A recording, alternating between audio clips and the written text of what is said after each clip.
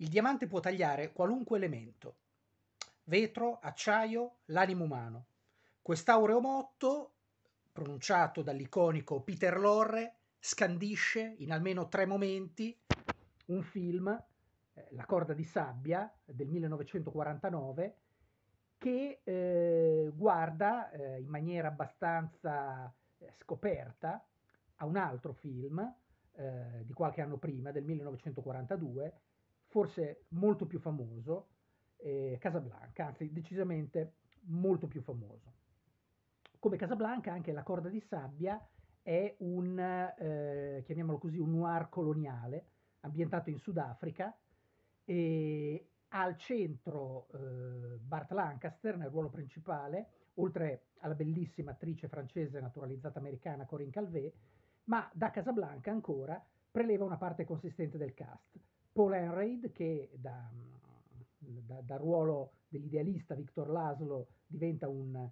cattivissimo sbirro in questo film, eh, il già citato Peter Lorre, ma anche il grandissimo Claude Rains e i due eh, Lorre e Rains alla fine di questo La corda di sabbia si allontanano promettendosi eh, amicizia, un po' come succedeva a Bogart e Rains nel famosissimo finale di Casablanca. Ma eh, non si renderebbe giustizia questa, a questo La corda di sabbia eh, definendolo un film derivativo. In realtà, se c'è probabilmente la, il desiderio di capitalizzare eh, un po' il successo di un film importante come, come Casablanca, ripetendone alcuni accorgimenti, eh, primo fra tutti l'ambientazione esotica, come ho già detto siamo in Sudafrica, però poi il film ha una sua, eh, diciamo così, una, una sua autonomia, una sua autonomia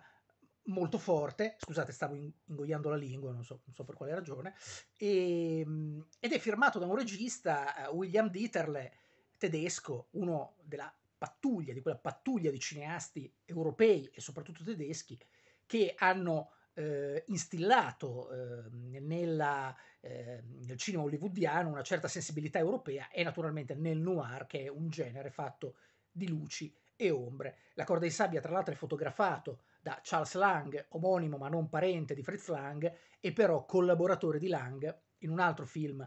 importantissimo, Il Grande Caldo. Ora, perché parlo della corda di sabbia? Eh, diciamo subito che eh, se pensiamo al film più famoso di Dieterle, e forse anche il più bello, cioè quel ritratto di Jenny che aveva tra i suoi ammiratori niente meno che Louis Buñuel, ma in generale tutta la scena surrealista francese, trattandosi di un melò eh, con una decisa deriva fantasy, ecco rispetto a quel film, ecco che La corda di sabbia è un film molto più concreto, molto più, eh, diciamo così, interessato alla frizione proprio dei corpi, eh, tant'è che eh, all'attrito, all'attrito dei corpi, ecco, è un film in cui c'è una scena di violenza decisamente brutale e registicamente perfetta, eh, coinvolge Bart Lancaster e Paul Enraid che si picchiano nel deserto con particolare ferocia, con come unica fonte di illuminazione i fari della Jeep. Perché? Perché Enraid e Lancaster sono arrivati a questo punto? Perché Bart Lancaster è un, ehm, un avventuriero che eh, torna in Sudafrica dopo, dopo aver subito una, dopo aver quasi perso la vita per essere stato torturato da Paul Enraid e i suoi scherani, perché eh, era a conoscenza di un giacimento di diamanti su cui Enraid vuole mettere le mani. E Lancaster torna per propositi di vendetta, ma anche di, eh, di lucro, insomma, anche se poi il suo personaggio resta quello di un buono, sostanzialmente, e incrocia in, questa, in questo Sudafrica così denso di eh, personaggi dalle grinte poco rassicuranti, incrocia una Dark Lady memorabile, la bellissima Corinne Calvé che ha un'entrata in scena straordinaria e secondo me si dimostra anche un'attrice notevolissima, forse addirittura eh, forse un po' sopra le righe, ecco, nel senso che crede molto nel suo personaggio e questo si vede, ma non si può dire che sia un difetto. La sua entrata in scena è co- contrappuntata dall'attenzione che le dedica Claude Rains qui, il grandissimo Claude Rains qui in un, in un ruolo particolarmente mellifluo di faccendiere che se la porta a casa è facile pensare che se la voglia portare a letto, in realtà lui è già avanti, già pensa a come userà il fascino di questa donna per mettere l'uno contro l'altro Bart Lancaster e Paul Henry, che sono due ostacoli per arrivare anche lui ai diamanti. Ma è una scena questa, si svolge in una camera d'albergo assolutamente straordinaria, dove viene fuori proprio il fascino eh, frustrato perché rifiutato da Reigns e, e, e Corinne Calvé, diciamo, interpreta questa scena anche con una, una fortissima dose di ironia, no? cioè la, è impagabile il suo volto quando si rende conto che la sua bellezza non scalfisce Claude Reis che è interessato a ben altro. E poi c'è una sequenza altrettanto bella e dilatatissima all'interno di una taverna che culmina in una partita a poker tra Bart Lancaster e Paul Enraid, una partita poker tesissima, e è anche il primo incontro di Corinne Calvé con questi due uomini che tanto contano per lei, Lancaster in modo positivo perché poi lei si innamorerà di lui, sarà una Dark Lady particolarmente cinica ma redenta dall'amore, e Paul Enraid invece perché è, lei è oggetto del desiderio suo, ma naturalmente parliamo di un, del villain della storia, capace solo di un amore malato. E poi naturalmente la grandissima sequenza che eh, ho già ricordato della lotta tra, tra Lancaster e Enraid.